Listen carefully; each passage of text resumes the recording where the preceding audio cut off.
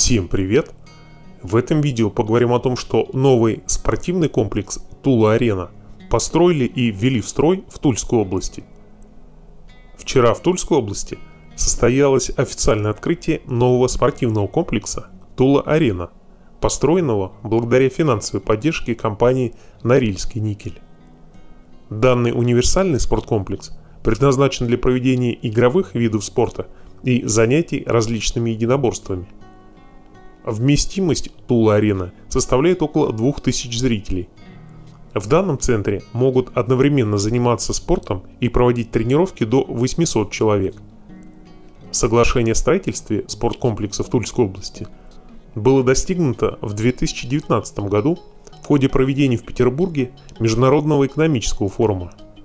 Строительные работы на объекте активно начались в 2020 году и завершились за полтора года – Компания «Норильский никель», являющаяся спонсором Олимпийского комитета России и нескольких спортивных федераций, уделяет серьезное внимание спорту и строит большое количество спортивных объектов в разных регионах страны. Присутствовавший в Тульской области на торжественной церемонии открытия спорткомплекса министр спорта Олег Матыцын сообщил, что государство поставило перед российскими регионами задачу – довести уровень занятия жителей региона массовым спортом до 80%. Введенный в строй Тульский спорткомплекс позволяет проводить в нем соревнования самого различного уровня от внутрироссийских до международных. Данный комплекс будет домашней ареной для женской волейбольной команды, выступающей в российской суперлиге. В нем также благодаря наличию шести залов можно будет заниматься борьбой, самбо, боксом, восточными единоборствами и рукопашным боем. Есть также своя площадка для занятий мини-футболом, гандболом и волейболом.